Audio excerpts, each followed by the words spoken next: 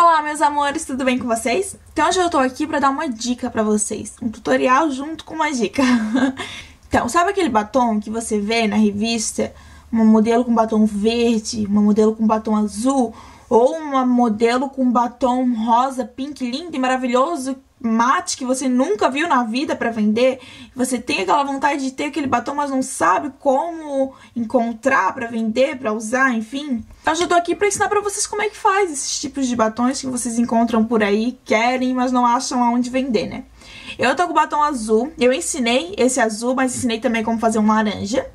Eu dei duas dicas, na verdade, até três, é, até três, porque além de vocês fazer com todas as duas dicas que eu falei, vocês também podem fazer com gloss, com manteiga de cacau, com vaselina também, eu vi uma vez falando em outro tutorial, mas eu acho que é mais encontrável um gloss, um glossinho incolore ou então uma manteiga de cacau, né, gente? Enfim, como o título diz, é batom mate, como fazer batom mate, então eu tô ensinando pra vocês como fazer batom mate, sem brilho. Mas se vocês não gostam de brilho e querem com brilho, é só passar um glossinho.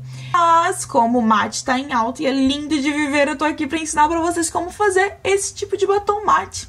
Então é isso, amores. Se vocês quiserem aprender como faz esses batons lindos e coloridos e tudo mais, é só continuar assistindo. Bom, amores, então a gente vai começar, tá? É muito simples, não tem segredo nenhum. A única coisa que você vai precisar vai ser de um corretivo. Eu vou estar usando a minha paleta de corretivos, essa daqui, que eu sempre uso, né, minha aliada.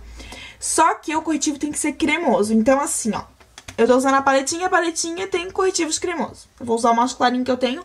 Então, se você não tiver, né, um corretivo cremoso, você vai numa farmácia, que tem, tá, gente? Toda farmácia que vende maquiagem tem corretivo cremoso, que é aqueles em batom, sabe?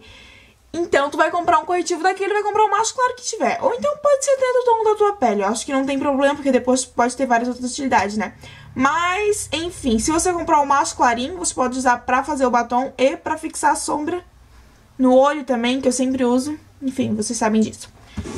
E uma paleta de cores, né? Uma paleta de, de sombras normal. Então eu vou começar fazendo batom laranja, azul, verde. Vou fazer com laranja. Com laranja pode ser. Vou pegar uma cor de corretivo, vou pegar essa daqui, ó. Que ela tá meio verdinha, só que na boca ela vai ficar branco. E vou passar na boca.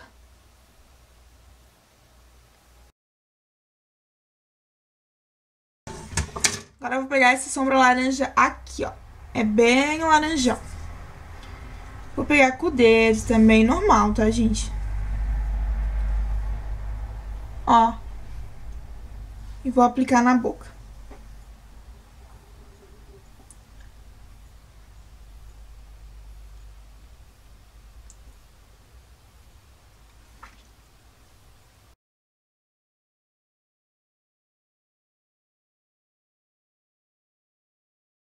Então, meninas, olha só como é que ficou.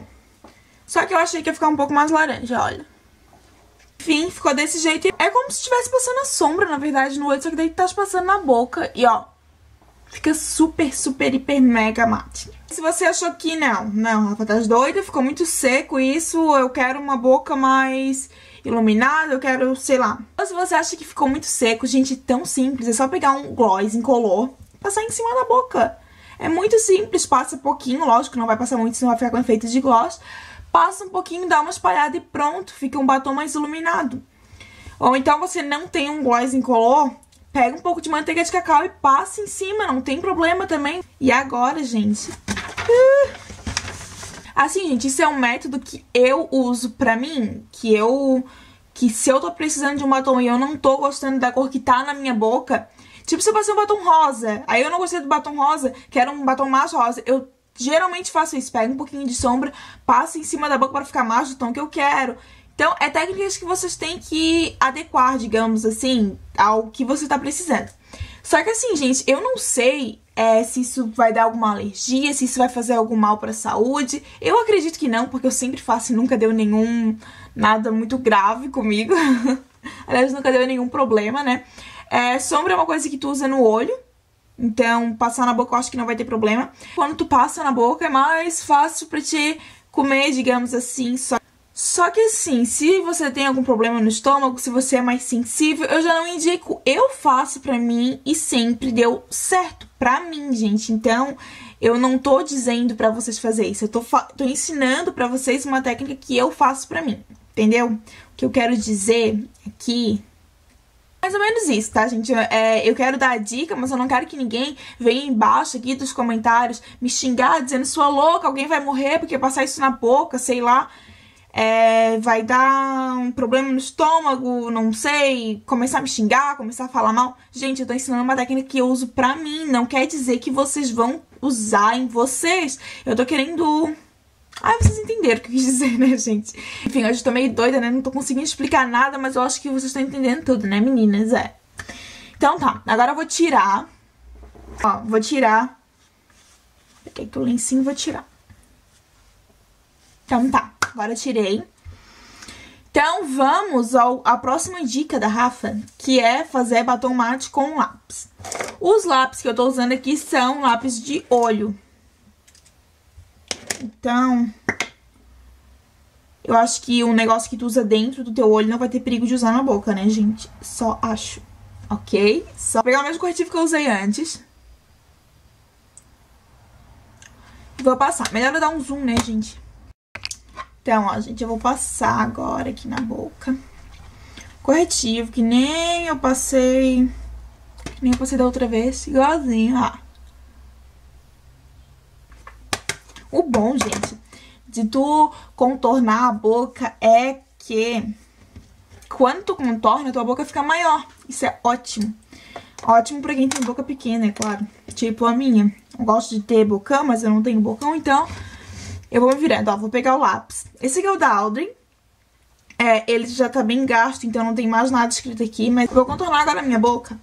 Igual se eu estivesse contornando é, uma boca normal. Igual se estivesse contornando com batom vermelho, com, sei lá, contorno normal, tá?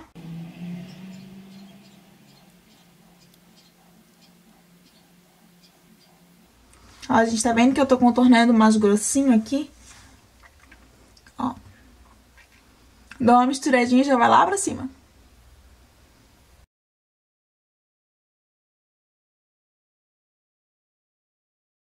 Meninas, então, ou eu posso deixar minha boca desse jeito, porque ele fica, sabe aquele efeito degradê? Que vem do escuro pro claro? Ó, ficou assim. Então, meninas, ou eu posso deixar com esse efeito desse bocão aqui, né? Que ficou... Gente, ficou enorme, que engraçado. Parece que eu tô morta dentro desse batom azul. Ou eu posso deixar desse jeito, ou eu posso preencher. Ou eu posso preencher com batom azul, ou eu posso preencher com azul mais claro, que é esse aqui, olha, gente, da Natura, que tem os dois lados, né, que é o claro e o escuro, então quem tiver, ó.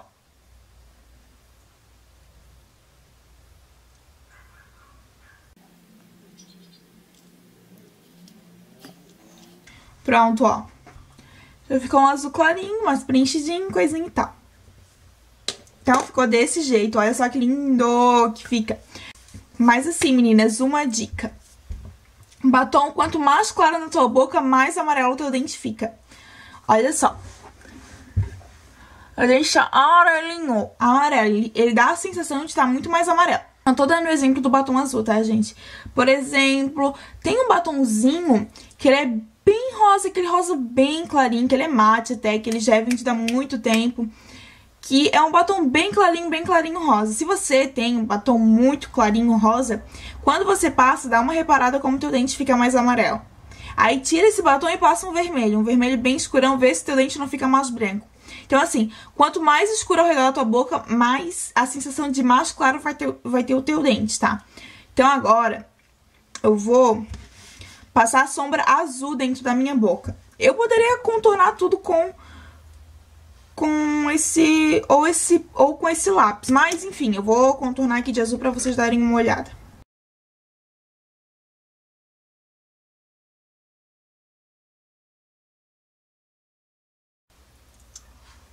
Tcharam! Ó. Tá vendo como o dente tá com mais clarinho? Hã? Olha só. Fiquei com o dente mais branquinho. Então, se tu vai numa festa fantasia, vamos se dizer, dizer, dizer aqui, que tu vai numa festa fantasia e tu vai ser uma fantasiada de cupcake, quer botar na boca uma cor mais louca, põe um azul. Se você vai fantasiada de sereia. Põe na boca um azul, faz uma maquiagem azul, faz uma coisa assim bem linda. E vai lá, toda linda, glamorizar por aí. Então é isso, meninas. Eu espero que eu tenha ajudado com as minhas dicas. Com as dicas doidas da Rafa, né? Porque a Rafa tá doida. Rafa. Então, meus amores, é isso. É, eu, eu acho legal o batom azul, verde, é, cor colorida na boca. Mas eu com certeza não teria coragem de sair por aí. A não, a não ser, como eu falei, tipo, de uma festa fantasia e tudo mais. Porque eu acho legal, mas eu não tenho coragem. Então... Sou bem dessa, sabe, gente? Que acha legal, mas não tem coragem? Então, sou eu. Então é isso, amores. É, eu espero que vocês tenham gostado. Enfim, vocês já sabem, né, que um, do mesma forma que vocês podem fazer com o batom azul, vocês podem fazer com qualquer uma dessas cores na boca. Vocês podem fazer amarelo, vocês podem fazer laranja, pode fazer rosa, sabe aquele rosa bonito que tu vê?